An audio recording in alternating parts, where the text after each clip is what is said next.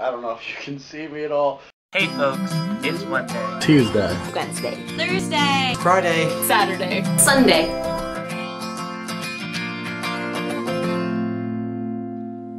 Hey folks, it's Tuesday, and um, I filmed this video about three times, and it was the old camera I used to use just doesn't work anymore. So I'm borrowing this camera, and hopefully it doesn't cut out on me. Anyway, um, today I'm going to show you a nice little camping skill. It's how to make a um, soda can into a stove that runs on rubbing alcohol. So let's just show you what the uh, finished product is going to look like. Pour a little bit of here.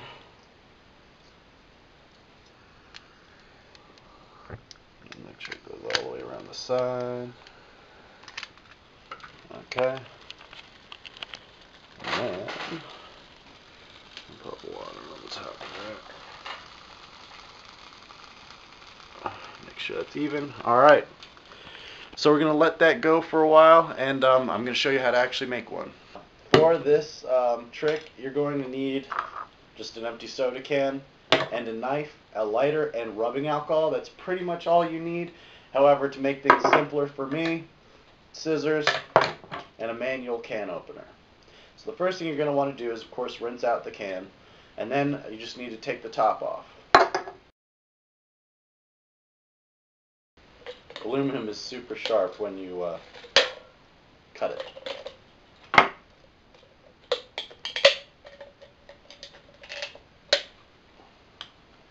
Okay, next thing you want to do is uh, cut it in half. Um, err on the side of the, the smaller side being a little bit sh- shorter than the top. but basically just cut it down the middle. So then what you're going to have is something that looks like this.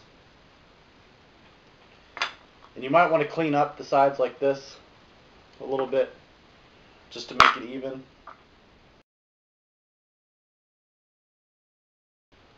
So the bottom part is where you're going to keep your fuel or your alcohol.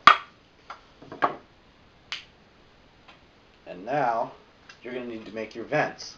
So this is where the knife comes in. What I do is I take two fingers and then just go along the ridge like this.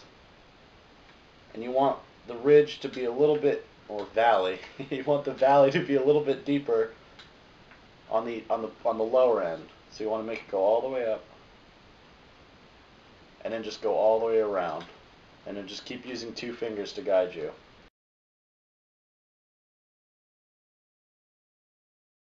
So then what you're going to have is something that looks like that. And then you just push them together. It fits kind of snugly. You want the top part to be pulled out a little bit, not resting too hard on the bottom.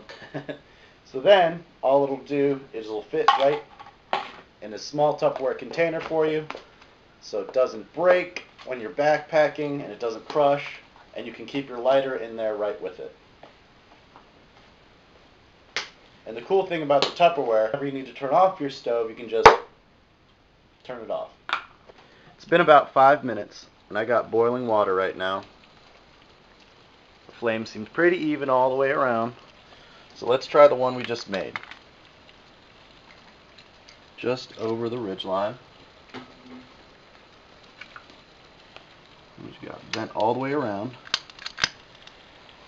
And make sure that this goes all the way around the sides, and we have success. This is perfect because rubbing alcohol is pretty much in every household, dorm, school, um, anywhere there's a first aid kit and uh, aluminum cans are pretty much anywhere you find. So if you lose power, you can still have a heat source and a way to cook food, boil water, make tea, whatever you like. all right, I really love that we're all back together for our reunion week, and um, Laya, I'll see you tomorrow. See? All right, this is a dangerous flame, and it's out. That's with plastic.